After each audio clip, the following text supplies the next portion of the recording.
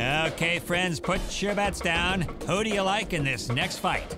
This 15 pound terrapin in Africa's Lake Tanganyika, who's looking for fish eggs, or the parents of those eggs.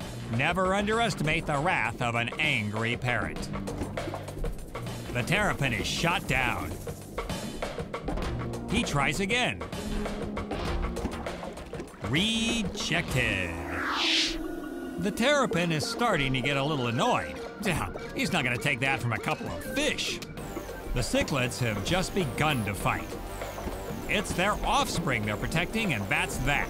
First they bite, and then push comes to shove. And then shove turns to launch. As these feisty fish make their message clear Get out of town, buddy. The terrapin is so out of here.